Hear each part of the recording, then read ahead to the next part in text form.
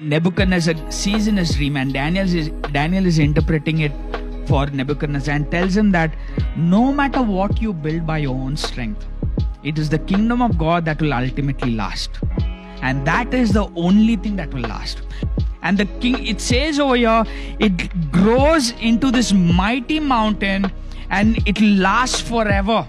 This kingdom of God was established by Jesus it is it started small. It's not completely taken its full force. You know god has already established his kingdom on this earth but we don't see it in its completion. And that's where we are living right now. That understanding is so important for us when we are living in a time such as this in our nation. It's not reached its fulfillment yet. It's going to happen when jesus comes back.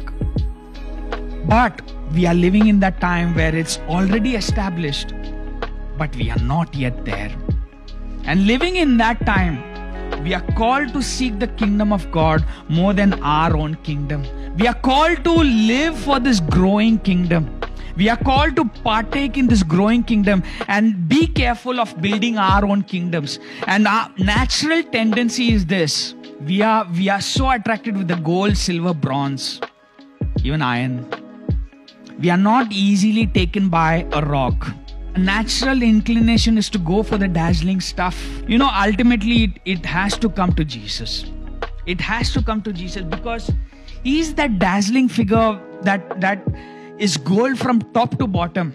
We can worship Him, we can truly adore Him because He has no flaws at all. And and and He, he has no feet of clay that will crumble and fall. He will last forever.